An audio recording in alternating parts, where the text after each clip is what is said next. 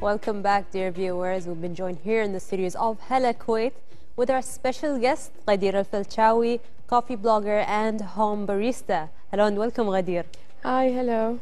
Of course, it's a pleasure to have you here in the studios of Hala Kuwait, and we would like to know more. What got you into blogging?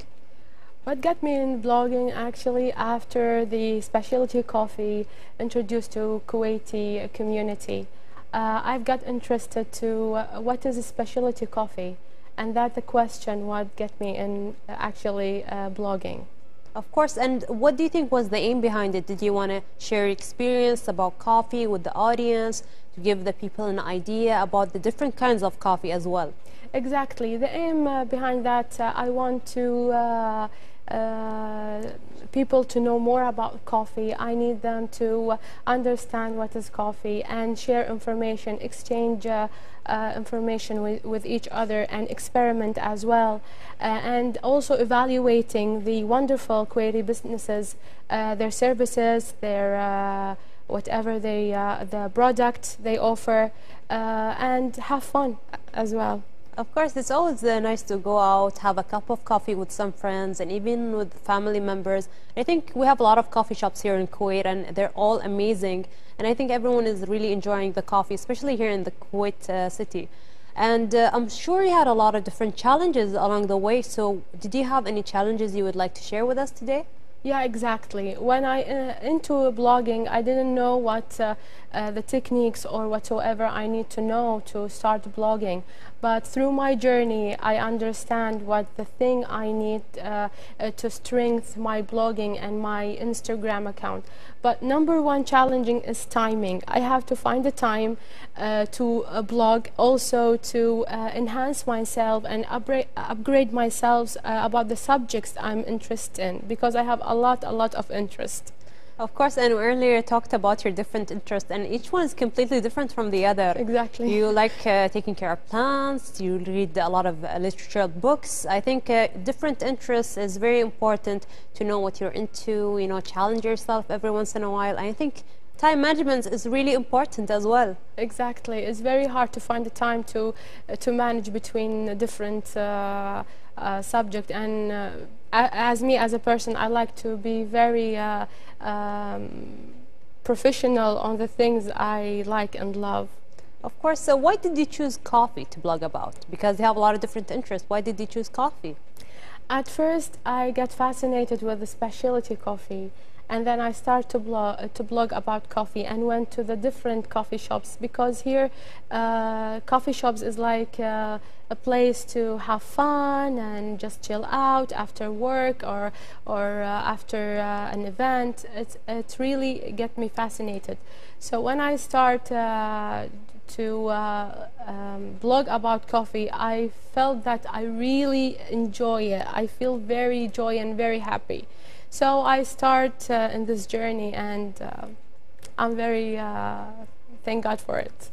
Of course, uh, it's really amazing to find something you're passionate about. And as you mentioned earlier, you mentioned that as soon as you started, you didn't have any background check when it came to blogging, and you, you learned a lot of things along the way. So, is there something like a tips you would like to share with us uh, for any blogger who just started, who doesn't know like the right path, the do's and don'ts? Exactly uh, if he or she want to start a blog blogging, they have to keep in mind they have to understand some the basics at least for for several uh, fields. Like they have to know basics of uh, photography videography. They have to know a little bit about marketing uh, also the uh, account management because you have to manage your own account and you know to know, you have to know the techniques of the uh, uh, the uh, tool or the uh, app that you use. Like for example, Instagram. You have to know the techniques how to use the Instagram and the uh, hacks and all of that. Of course, and we know that you're a home barista. Yes. And you learned on your own. This is something she shared before we started the interview. Yeah. So, how did you start becoming a home barista? Tell us about that when I started blogging about coffee, I get, as I said, I get fascinated with the coffee. So I try to know more and more and more about coffee. And I see it's like a very wide and general uh, topic. It's not uh, easy. It's not just to grind, uh, bring a coffee bean and grind it and do it. No, there's a mathematics. There is like uh, steps to do that. So I get fascinated with that. Then I start to learn from other baristas. Uh, then uh, share information with the with the people who share the same interest. and then I take that path, and I'm, I'm very very happy with it. I'm sure all your friends and family members really enjoy coming to have a cup of coffee with you at home. exactly. I am the small coffee shop at home. Of course. And uh, I think before you started, uh, was it something that you wanted to learn? Is there like different steps that you wish to learn before uh, learning something new about being a home barista? Would you like to take uh, classes in the future? Is this something you plan? Uh, yeah, I, I could take many classes because uh, here uh, Kuwait they offer a very specialist uh, uh, classes for to be very pro in, in home barista. Uh, sharing information with, with the, the coffee community is very very very helpful and it gets me to to to being a, a good. I'm not gonna be say professional home barista, but it's it's good home barista. Um, so uh, I could do a more uh, experiment as well because in coffee world you have to do a many and a lot of experiments and just take a note and uh, you'll be good. Of course, and uh, right now we'll take a short break and we'll be right back with you to talk more about coffee with our special coffee blogger. Stay tuned.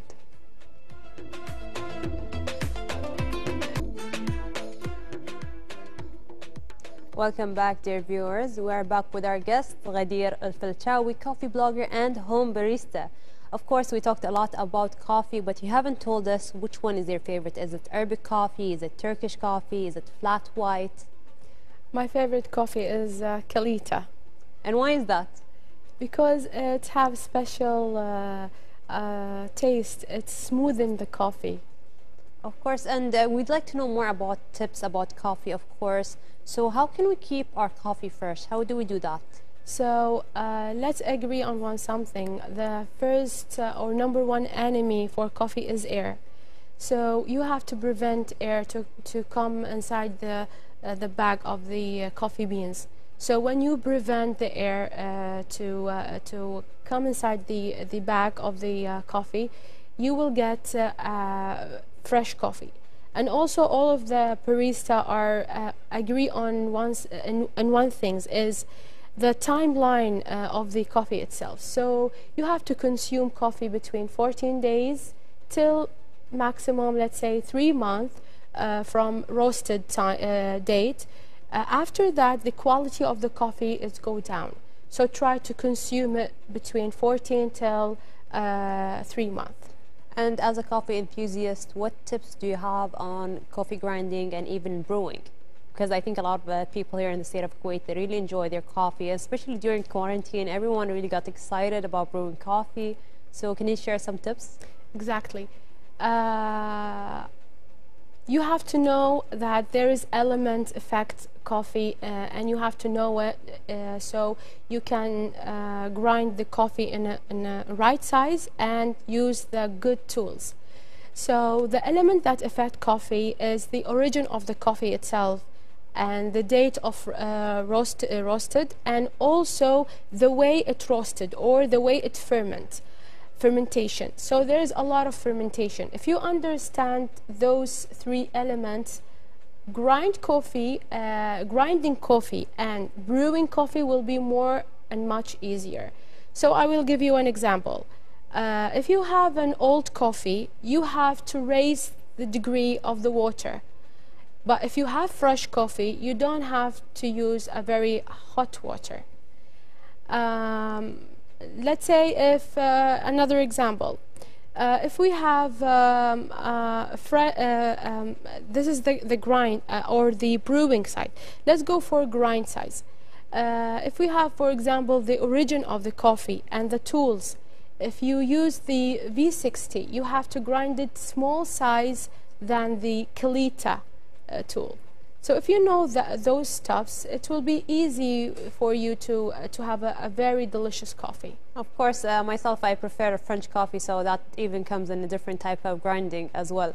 So uh, I think a lot of people would like to know, as you are improving as a home barista, what skills are you using exactly?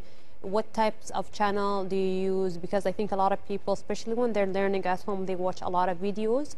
Uh, other people, they prefer reading about it. What do you do exactly? Uh, I follow the, spe- the very specialist barista. They gives recipe and coffee, and also they give tips, and and they share their own experience. And if you follow those people who really love coffee, special coffee, and know about it, you will share a lot of information that will prevent you to uh, have a lot of experiments. Uh, so the for example, um, one information you have to do a lot of uh, research, a lot of uh, experiment, but the special uh, barista will give you the uh, information for free. So follow those, and also you can uh, Google Google it, or also you can watch a YouTube. There's a lot and a lot of uh, experiment and informations. Of course, and I think when it comes to choosing the beans, the coffee beans, there's a lot of different roasts and a lot of different types. You can get confused sometimes. So how do we choose the right one? Because I think everyone has a different taste, different flavor. So how do we choose the right one? So first of all, you have to try all of the coffee you, you might say, I don't like the Ethiopian uh, coffee beans, but try it and try it in different fermentation.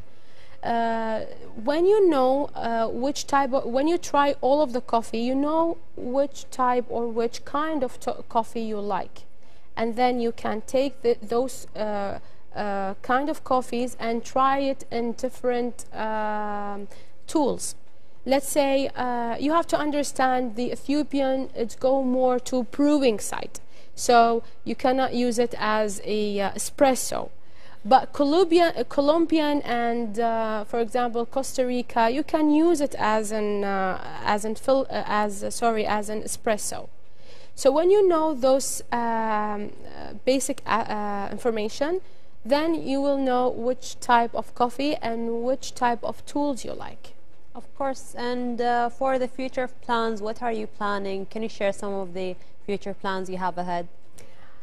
I have another interest. I'm trying to be more uh, professional in clay. I'm trying to be uh, study coffee more, actually, because st still I'm not specialist, a very specialist. Um, trying to know more maybe, about uh, ro uh, roasting coffee. Of course, I think uh, it's really important to have a lot of different interests and to have a different time. And I think time management is really crucial when it comes to having a lot of different interests. And I really tried the clay. It's really amazing and yeah. it's really relaxing and soothing. Exactly. So you should definitely give that a try. I will. What would you like to say to the dear viewers who are watching at home? Any last final word of advice? Uh, do what you love and don't be afraid to try new things uh, do experiments, uh, enjoy what you what you what you really love, and I really like to thank people who give me a time, who give me information uh, about coffee and help me through that wonderful journey. And of course, I would like to thank thank you and all the cast to give me the time to to speak about the thing I really love. Well, thank you for being here and for sharing all this uh, beautiful and amazing experience, tips, and all that. It's really a pleasure to have you here in the studios of Hala Kuwait. Thank you so much, Ghadeer. Thank you. Dear viewers, we had with us Ghadeer Falchawi, coffee blogger and a home barista. So let's move on to our next report. It's about Paul on summer activities. Stay tuned.